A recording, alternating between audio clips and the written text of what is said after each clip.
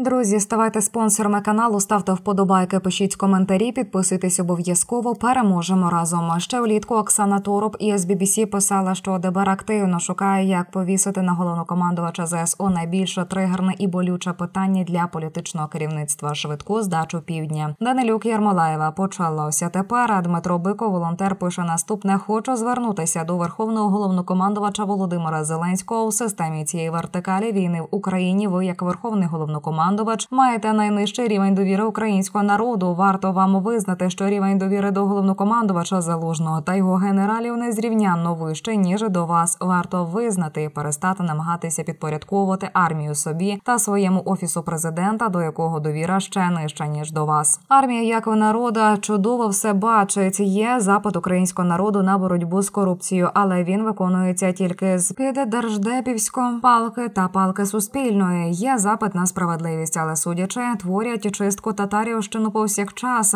Є запит на чистку свіжу інформацію, але є єдиний брехливий марафон. Чому ж ви, верховний головнокомандувач, тоді думаєте, що можете звільняти з армії генералів, до яких величезна довіра? Чому виходять розслідування та статті щодо діяльності правої руки Єрмака Татарова по підпорядкуванню офісу президента правоохоронної та судової системи, але звільнити ви хочете генерала Наєва? Чому виходять розслідування про викрадення з держбюджету 320 мільйонів гривень енергофірмами брата Шурми, ригає того, хто тягнув руський міра в Україну, але звільнити ви хочете генерала Тарнавського? Чому у вашому уряді імені певного контролю Єрмака повно зашкварених міністрів, які ні чорта не роблять, окрім виконання вказівок того ж Єрмака, але звільнити ви бажаєте залізного генерала Залужного, чому йде наперекір бажанням народу? Чи ви вважаєте, що вже Бог і правда ваша лише маю вас засмутити? Люди з такими думками і бажаннями завжди закінчували погано. Я не мовчатиму. Якщо треба, вийду під офіс президента і не толеруватиму. Якщо стануться звільнення бойових генералів, бо я цілком віддаю собі звіта. До чого це призведе? Я вам це пишу не щоб налякати, а щоб ви усвідомлювали відповідальність. Шанси не допустити країну перетворити на автократію буде лише один. До зустрічі, друзі. Ставайте спонсорами каналу, ставте вподобайки, пишіть коментарі, підписуйтесь обов'язково. Переможемо разом.